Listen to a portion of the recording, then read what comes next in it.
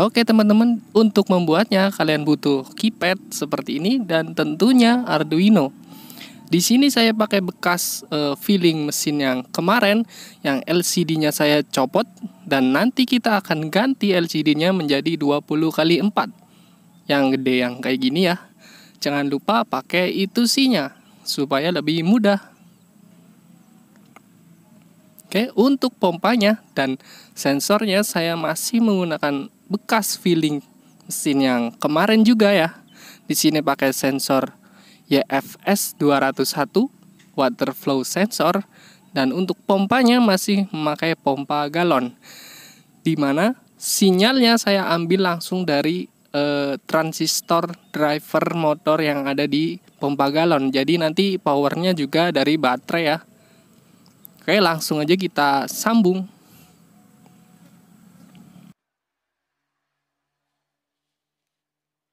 Kita sambung LCD-nya terlebih dahulu. Oke, seperti biasa ya di SDA dan SCL yaitu pin A4 dan A5. Jangan lupa VCC dan ground-nya.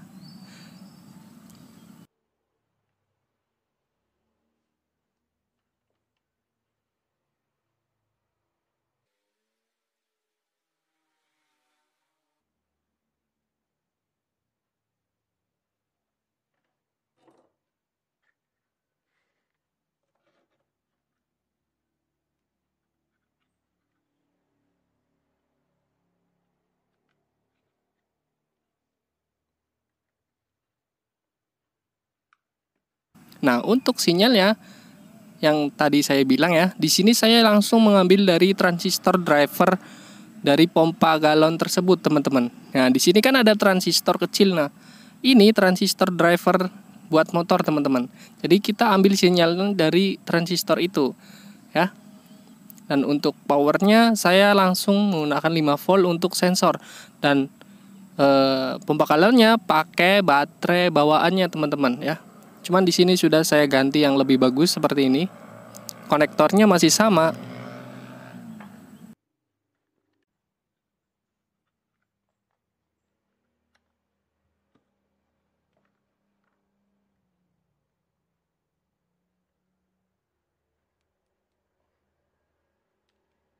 Nah, untuk uh, pompanya di pin 13 ya. Bisa juga diganti pakai relay. Jadi pin relaynya pin 13 dan input sensornya pin 2 pin interput. Oke langsung eh, VCC dan groundnya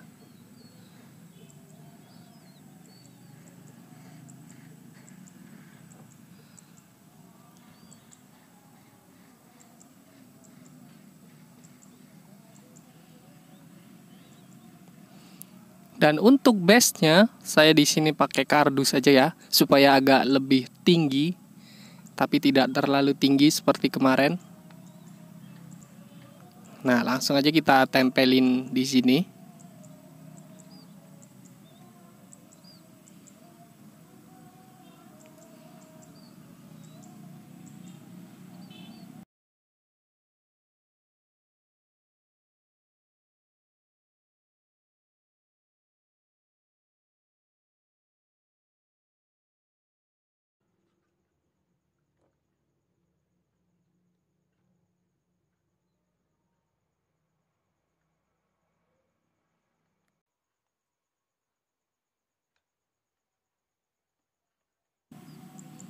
Oke, kalau sudah nempel jadinya kayak gini. Kita pasang selangnya terlebih dahulu, teman-teman.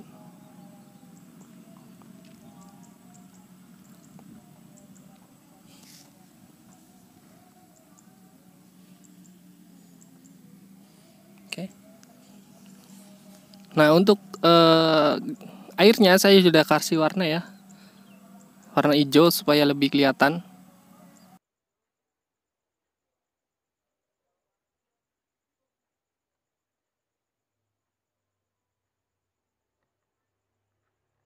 Oke, langsung aja kita nyalakan. Nah, untuk tampilan awalnya di sini ada harga ya, teman-teman. Di sini harganya 8000 per liter. Nah, ini bisa kalian ubah di codingnya teman-teman. Mau berapa ribu per liter itu pun bisa. Dan kemudian di sini ada untuk tekan A untuk mulai dan B untuk pembelian terakhir. Nah, karena di sini baru dinyalakan jadi untuk pemberian pembelian terakhirnya kosong ya. Jadi kalau kita pencet B itu nggak bisa ya. Beli RP 0 nih. Masih 0, 0 perak dan kemudian kalau kita tekan A maka dia akan muncul tentukan harga beli teman-teman ya.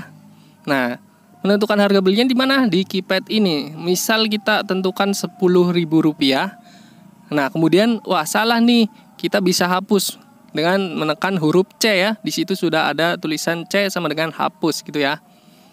Hmm, kemudian kalau kita tekan D untuk lanjut, maka dia nggak bisa. Dia akan kembali ke menu awal karena kita belum menginputkan harga beli ya. Sekarang kita coba 8000 1 liter ya ini 8000 1 liter. Kemudian ini dengan D. Maka di sini akan mengkalkulasi bahwa 8000 per liter itu 1000 mili ya. Di sini kemudian ada speed flow-nya, ada isinya berapa dan harga belinya tentunya. Dan ini pompanya sudah jalan, sensornya sudah membaca dan kalau sudah tepat eh, 1000 mili dia akan otomatis berhenti dan kembali ke menu awal. Di sini ya, diisi ini.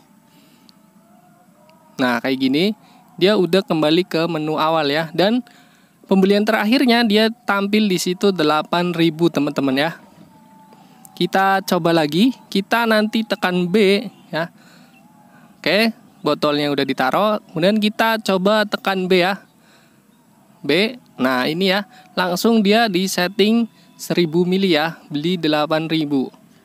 Nah, kita tungguin dulu sampai full.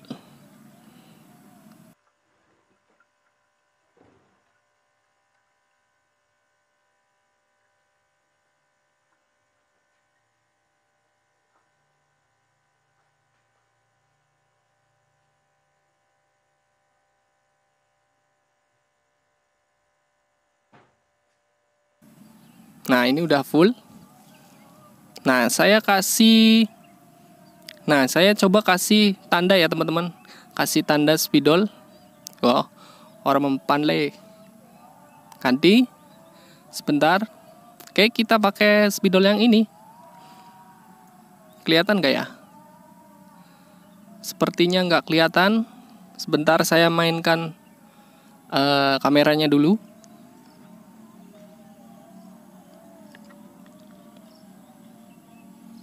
Sebentar teman-teman. Jangan di skip.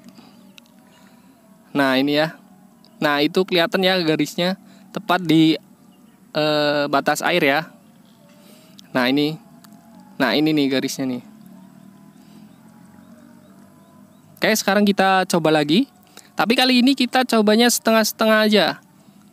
Apakah masih tetap sama presisi ya? Kalau setengah berarti 4000 ya teman-teman kita tekan D untuk lanjut. Maka dia akan setting 500 mili otomatis teman-teman. Misal kita beli, beli 9000 ya settingnya tergantung e, pembagiannya gitu ya. Kita coba tungguin dulu.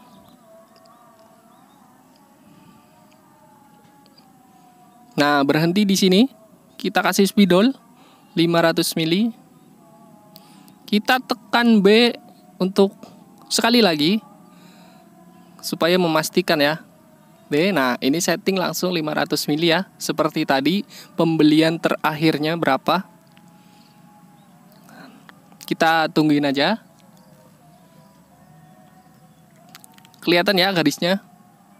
Saya terangin dikit lagi. Nah, tepat sekali ya teman-teman di situ di garisnya.